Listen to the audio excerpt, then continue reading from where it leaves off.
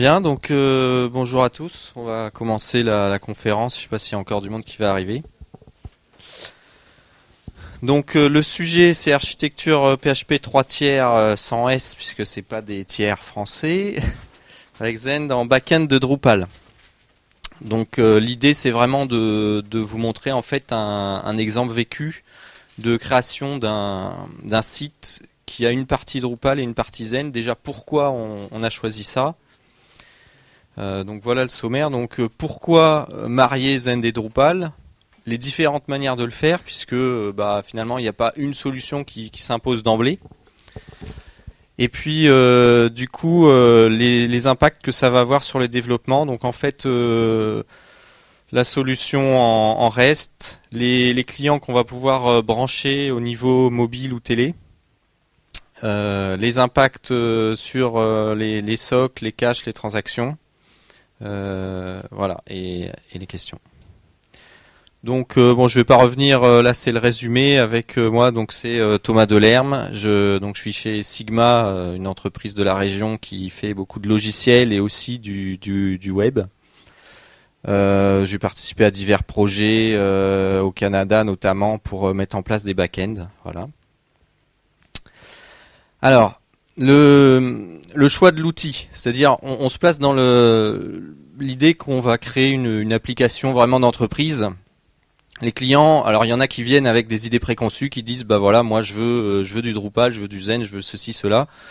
Mais il y a beaucoup de cas en fait où euh, le choix est un peu flou puisqu'on ne sait pas est-ce qu'il faut partir plus sur un framework? Donc euh, Zen et Symfony sont les deux plus connus.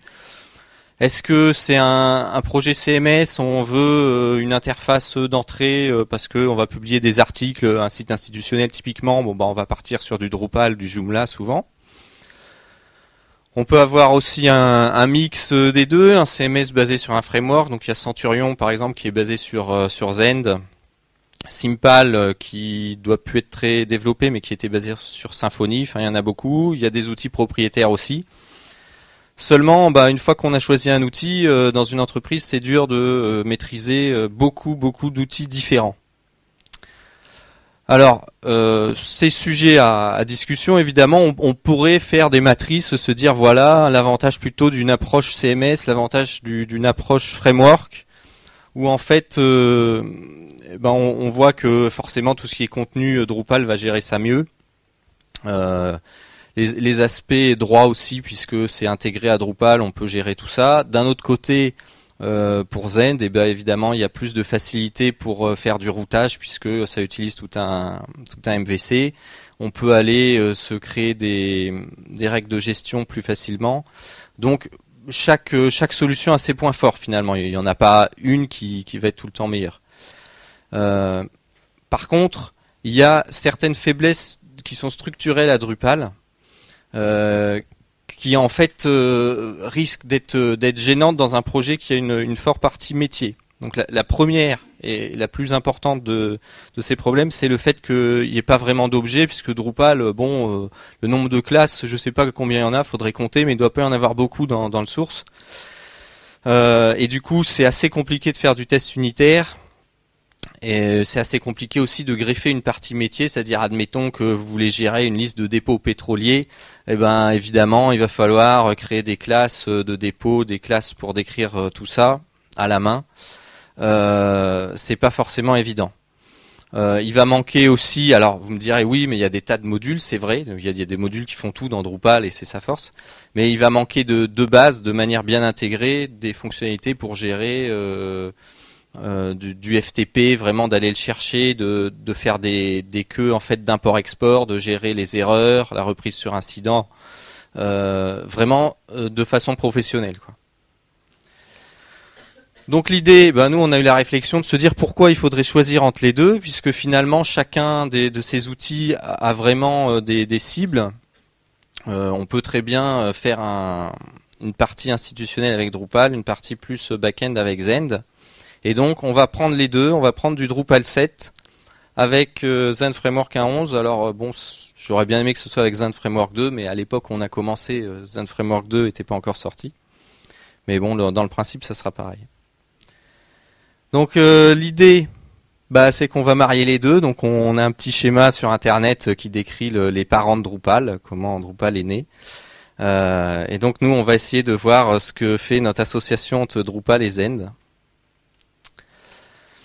Alors, par défaut, voilà l'architecture euh, classique d'un Drupal. Hein. donc on a euh, vraiment des, parties spécifiques qui vont être en rouge. Donc tout ce qui est euh, l'implémentation au niveau REST, si vous voulez qu'en fait des, sites extérieurs puissent se greffer et que vous, vous puissiez vous greffer à des sites extérieurs, bah, il faut une partie REST évidemment, client et serveur, qu'on va faire avec le module service. Donc on va avoir forcément des modules spécifiques aussi pour euh, bah, tous les tous les développements qui vont être en plus des modules qu'on a récupérés de Drupal. Éventuellement aussi une, base métier qui peut être la même ou qui peut être séparée de la base de Drupal euh, au choix. Bon, ça c'est vraiment le fonctionnement par défaut. On verra plus tard le, schéma avec un, Drupal plus Zend en fait euh, ce que ça change. Donc pourquoi faire un mariage en fait hein, Parce que effectivement, euh, Drupal sait gérer du client-serveur. Il y a les modules qu'ils font. On peut se mettre euh, l'API euh, schéma ou l'abstraction de, base de données, le, DAL. Et puis bah voilà, on va aller faire des requêtes sur la base de données. Ça va très bien se passer, ok. On peut éventuellement aussi faire des tests unitaires, ça se fait aussi. Mais le souci principal qu'on va avoir, c'est la réutilisabilité du code, puisque euh, bah, le code qu'on va faire pour une application sous Drupal va être difficilement euh, repris tel quel pour faire un autre site. Euh, et puis, le souci qu'on va avoir, c'est que si on, développe tout dans Drupal, évidemment, on ne pourra pas l'utiliser dans d'autres technos. tandis qu'un développement qu'on fait en Zend, il est plus susceptible, surtout s'il va être séparé en partie back-end et front-end, il va être plus susceptible de nourrir d'autres CMS. On pourrait très bien, euh, là, l'exemple est avec Drupal, mais on pourrait imaginer de brancher d'autres CMS en front-end. Euh, et on a des problèmes de, scalabilité et de, testabilité en fait. Euh, donc là, je ne sais pas si c'est lisible parce que c'est un peu petit, mais l'idée en fait c'est de comparer un Drupal seul avec un, un mix Drupal Zend les fonctions vont être quasiment similaires en fait. C'est du pseudocode. Euh, voilà, je récupère un paramètre, euh, je me connecte à ma base de données, puis je fais une requête dans un cas. Dans le cas où je suis avec Zend, bah, je vais faire un, appel à mon web service que j'ai euh, défini en tant que new REST connection. Et puis voilà, je récupère le, résultat. sauf que il y a des intérêts en fait à faire ça côté Zend, c'est que on va être obligé d'être paresseux parce qu'on n'a pas envie de faire 12 000 méthodes REST, et donc de se poser la question comment je vais nommer mes méthodes pour euh, finalement en faire le moins possible? Donc par exemple, bah, si j'ai besoin de récupérer des dépôts euh, par nom, par ID, c'est vrai que c'est facile dans Drupal ou dans n'importe quel outil PHP euh, de faire une requête pour chaque besoin, puis on se pose pas la question, j'ai besoin d'une autre requête, j'en fais une autre. Là, on est obligé de se poser la question quels sont les services que je vais offrir depuis mon back-end? Bah, par exemple get all dépôt et puis euh, je sais qu'en paramètre je peux demander que ça soit euh, classé par ID ou par name et puis le, tri change. Donc ça ça oblige vraiment à rationaliser les, devs. Et puis euh, la différence qu'on va avoir sur les tests, c'est que le traitement des erreurs va être centralisé puisque on va avoir, on verra plus tard une super classe en fait dans Zend qui gère tous les cas d'erreur possibles et qui retourne des messages plus clairs que euh, bah, si on si on fait toutes nos requêtes directement dans nos Drupal, forcément on va pas gérer de manière aussi extensive tous les cas d'erreur à chaque appel. Donc du côté Zend, forcément, bah, l'intérêt c'est d'accéder, euh, je vais pas lister hein, toutes les bibliothèques de Zend par défaut euh, pour gérer des logs, pour gérer des tests unitaires, etc. Nous aussi, il se trouve qu'en fait, on, on, a pas mal travaillé sur Zend pour y insérer des, vues Twig, donc euh, les mêmes que dans Symfony pour la, partie vue, et puis la partie objet d'avoir un générateur de modèles qui nous permet de se connecter directement à la base, de récupérer les, euh, objets en fait et de, pouvoir instancier un modèle euh, objet. Alors comment ça marche? Donc c'est là qu'on va voir les différentes solutions. Donc la première solution c'est est-ce que on pourrait imaginer inclure Zen dans du Drupal directement? Alors euh, il y a en fait un module qui fait ça dans Drupal. Sauf que le souci de, cette idée, euh, bah, c'est que ça réduit quelque part Zend à une librairie puisque les requêtes vont arriver sur Drupal. on va éventuellement pouvoir appeler du Zend, mais euh, c'est pas le MVC de Zend qui va récupérer la requête. Euh, donc si on voulait vraiment bénéficier du, MVC de Zend, il faudrait aller trifouiller dans les hooks de, Drupal. bon, c'est pas idéal. Et surtout, le gros point noir, c'est que forcément, on n'a pas l'avantage de scalabilité puisque les, deux outils sont, liés. Une deuxième idée, pourquoi pas, il hein, faut toutes les lister, bah, ça serait de faire l'inverse. Donc là, je mets Zen dans maître, il récupère toutes les requêtes HTTP, puis je me dis, bah voilà, euh, maintenant, euh, je veux que mon site, il, aille taper sur du Zen, et puis euh, derrière, s'il a besoin de Drupal, il va récupérer. Bon, en fait, c'est un peu idiot, puisque la, logique, qui semble quand même s'imposer, c'est que comme Drupal c'est très bien géré, tout ce qui est affichage de, de données, de contenu, bon, on va l'utiliser pour faire ça. Euh, on va pas demander à Zen de, récupérer le contenu euh, depuis Drupal puis de le réenvoyer. Enfin, c'est pas très logique. Il y a une troisième solution qui est celle qu'on a choisie, qui est d'utiliser Zen en tant que web service. Donc ça tombe bien parce qu'il y a eu pas mal d'autres conférences euh, aujourd'hui sur les web services. Donc on va installer Zen sur un port séparé, sur la même machine ou sur une autre, peu importe. Et on va faire un, appel REST depuis Drupal ou bien en Ajax. Moi, il se trouve que nous, c'est Drupal qui fait tous les, appels, mais ça pourrait être directement depuis le, client. Et il y a aussi une quatrième solution qui est pas forcément bête, mais qui est moins scalable puisque c'est ça marche par include. Ce serait simplement de, se dire, ben, je vais faire un, une sorte d'include de Zen. En fait, je vais instancier une nouvelle Zen d'application. Que vous savez que Zen, ça marche. Euh, avec les Zen d'application, puis on fait un run. Bah là, c'est ce qu'on va faire en fait euh, dans cette solution là. Ça va être meilleur en performance puisqu'on on n'a pas la couche HTTP à gérer, donc les, allers-retours euh, restent.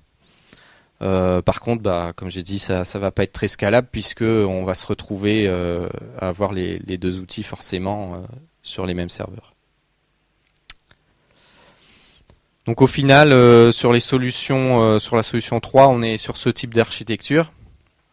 Donc on voit que euh, toute la partie jaune, en fait, c'est la partie Zend. Euh, l'implémentation des web services et de l'intégration de tout ce qui vient de l'extérieur en rouge, elle est passée en bas. Euh, on a une base métier qui peut très bien être du MySQL aussi, qui est qui est séparée clairement, puisque bon déjà Drupal il sépare pas bien le, contenu et la, config, donc si au moins on peut séparer la partie métier, c'est quand même mieux. Euh, et puis on a la possibilité de brancher directement du mobile sur le, sur le service web de, de Zend. Donc on va voir l'intérêt spécifiquement de, ces zones en jaune euh, et en rouge de Zend plus tard.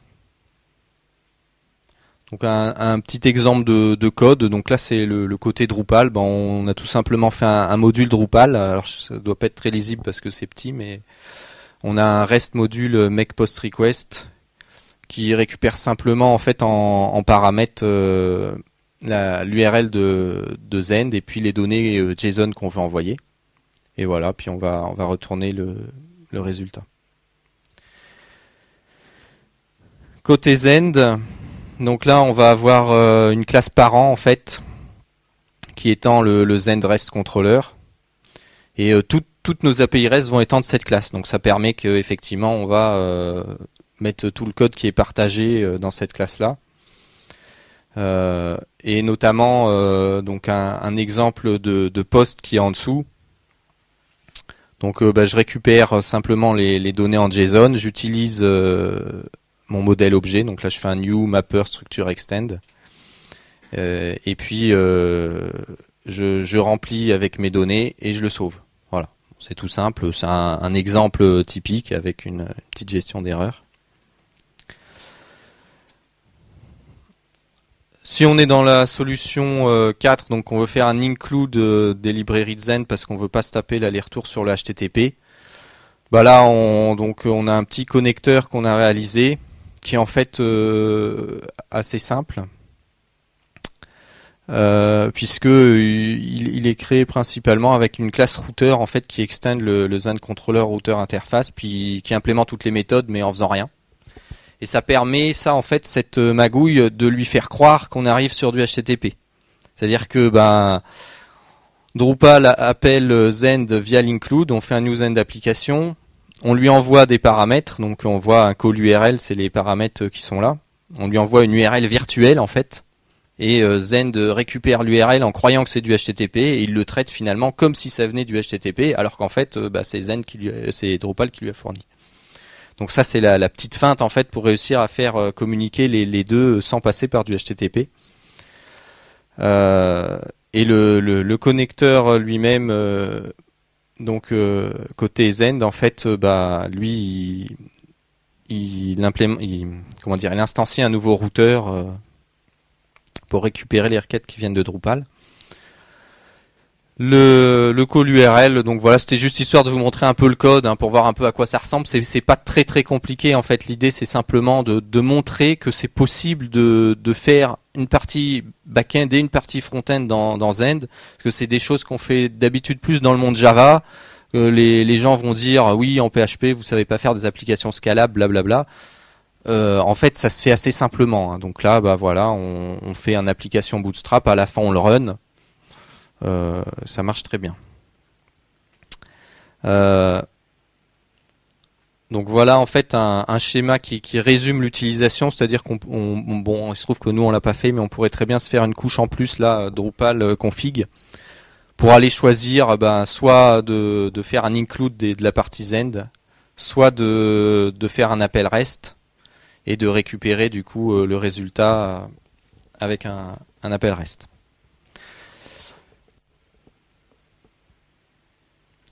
Alors, dans le, découpage, forcément, faut, faut quand même y revenir hein, dans, le découpage de l'application, même si ça paraît logique. Donc, au niveau Drupal 7, bah, on va gérer tout ce qui est front, donc euh, des maps, du jQuery, tous les graphiques, tout le HTML.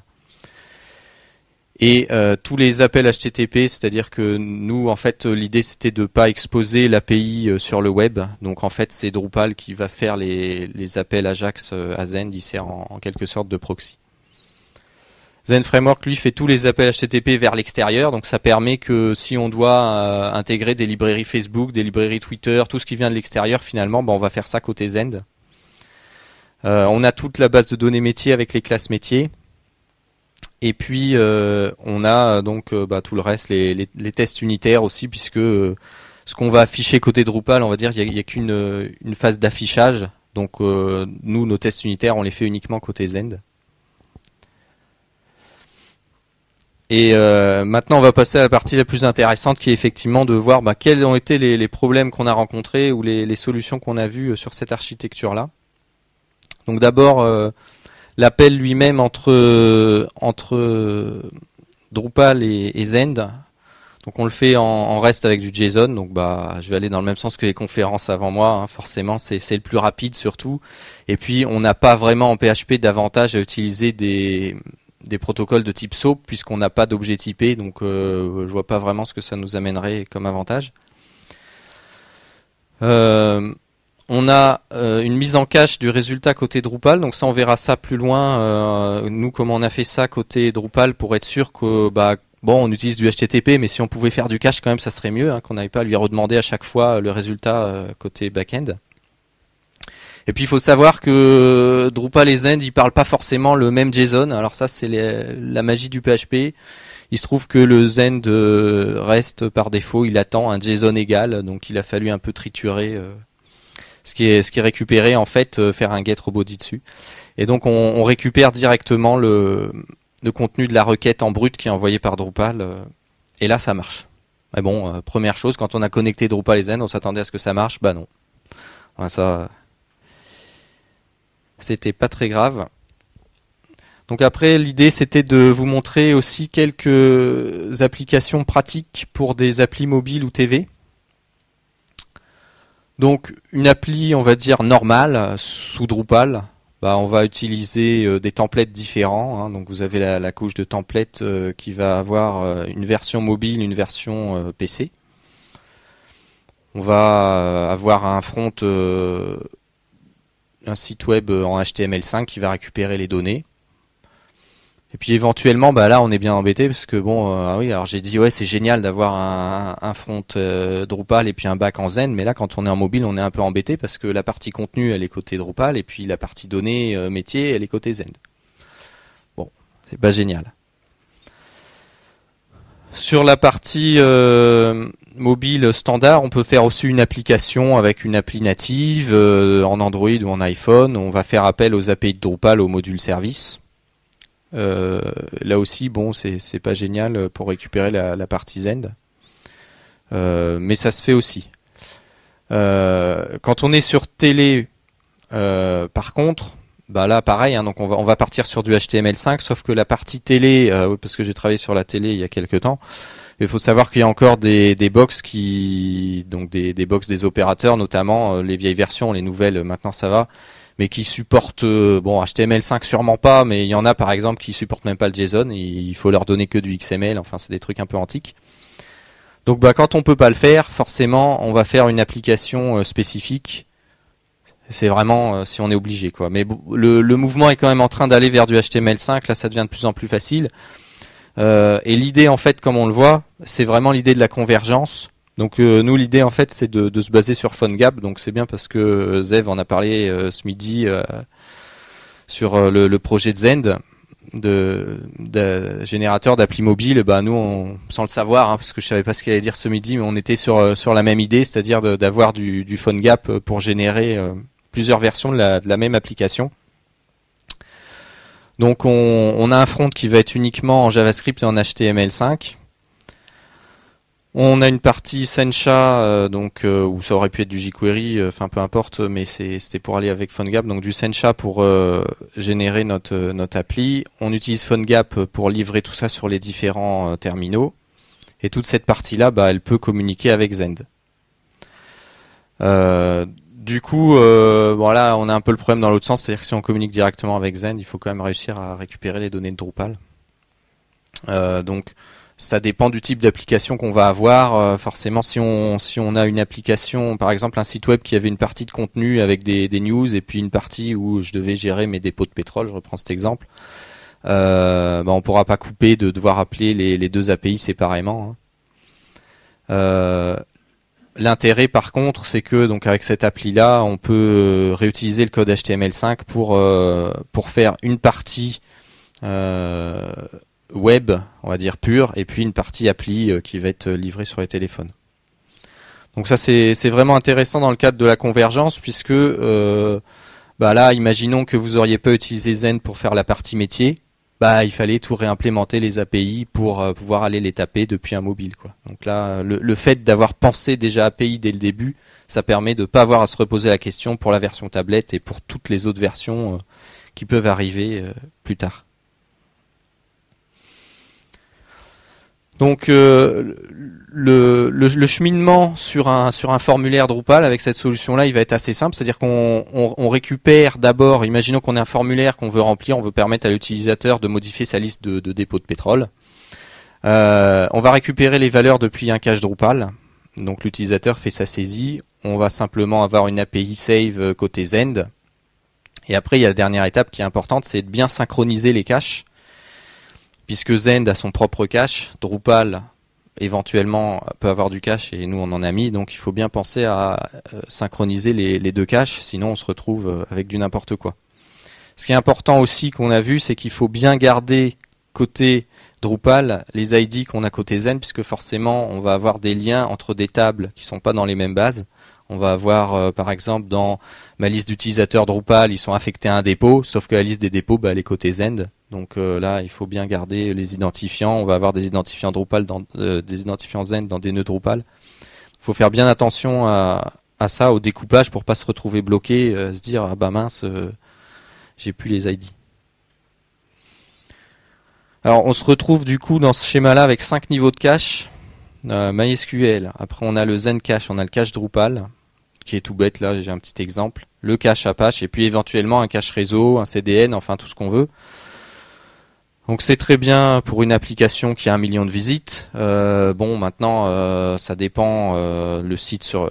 C'est sûr cette architecture là c'est pas non plus pour un, site qui fait 500 visites par jour. Hein, ça sert à rien d'avoir un back-end.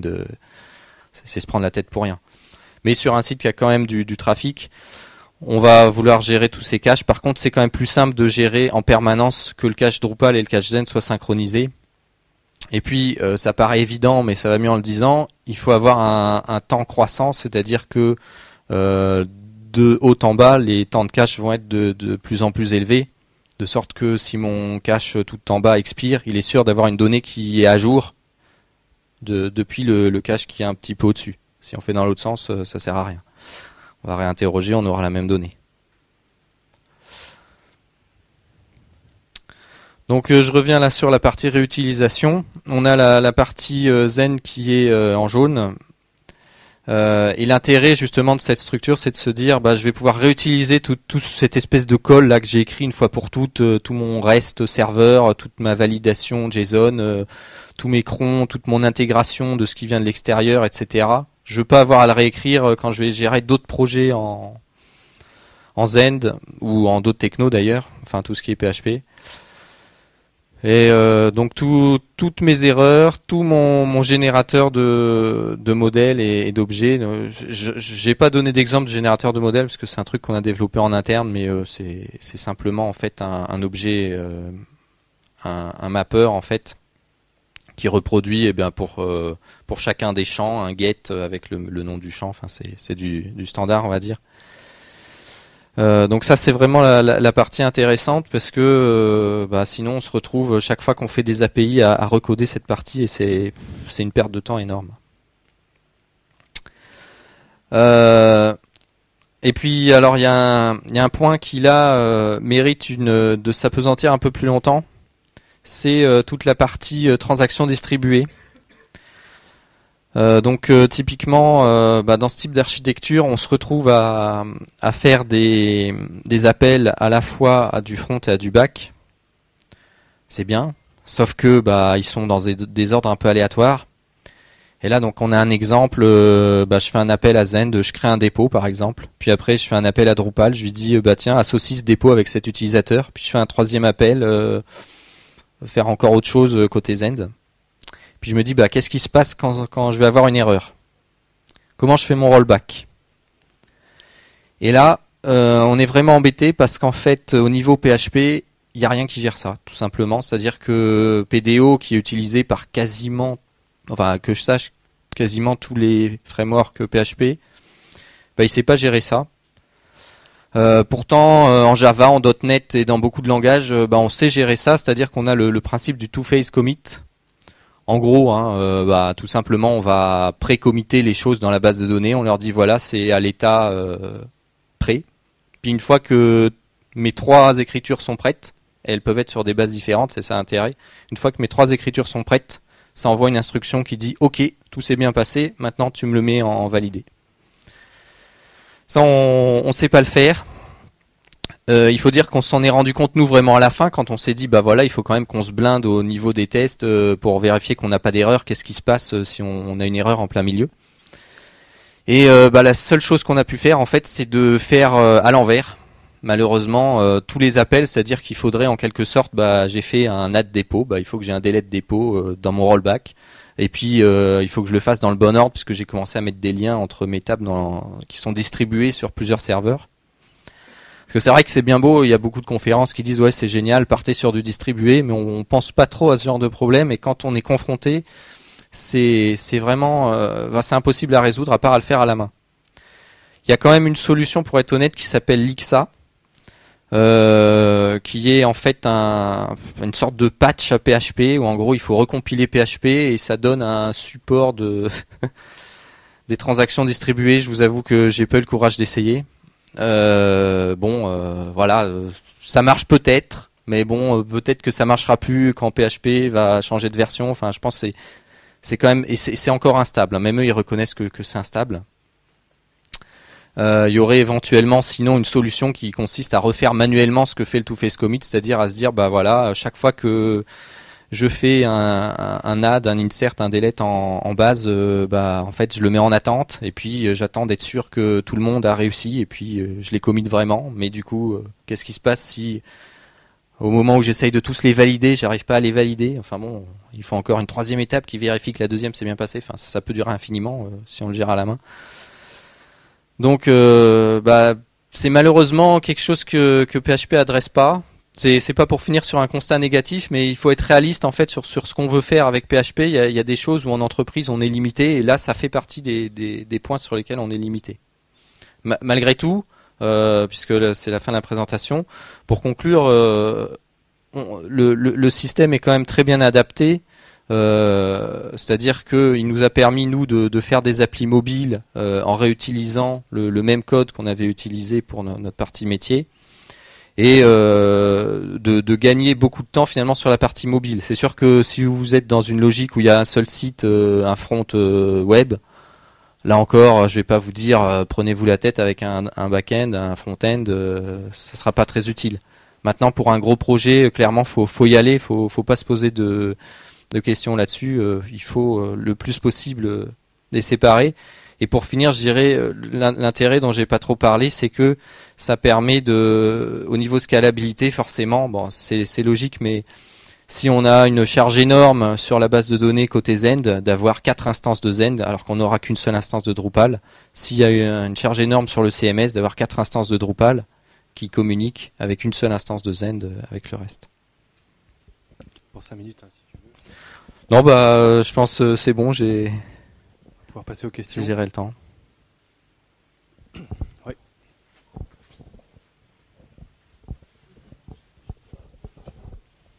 Euh, donc génial, il y a marqué euh, tour de table, c'est-à-dire que je peux poser plein de questions d'un coup. Voilà. Euh, bon, la dernière partie, moi je trouve ça passionnant. C'était tellement passionnant que j'ai commencé à parler à mon voisin, donc j'ai même pas entendu finalement la, votre solution à vous sur ce problème-là.